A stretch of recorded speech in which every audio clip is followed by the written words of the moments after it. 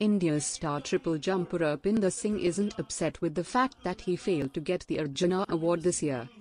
In an exclusive interview, the Asian Games gold medalist says that the other awardees including javelin thrower Neeraj Chopra, 400 meters specialist and sprint sensation of India Hima Das and 800 meters and 1500 meters Asian Games medalist Jinson Johnson are more deserving of the honor this year.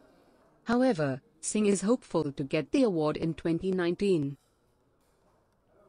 जी, मैंने ma'am अपनी जो file थी वो तो मैंने submit करवाई थी और मुझे लगता है कि इस साल नहीं मिला तो कोई इतना कुछ उसमें यानी प्रॉब्लम नहीं है। नेक्स्ट ईयर मिल जाएगा। क्योंकि मुझे लगता है कि वो थोड़ा सा मुझसे बेटर थे। नीरज हेमा दास और जॉनसन, दो मेडल थे इस बार एशियन गेम वाला ओलंपियन में है। तो इस बात से मेरे कोई गिला नहीं है। तो मुझे लगता है कि नेक्स्ट ईयर मिल जाएगा।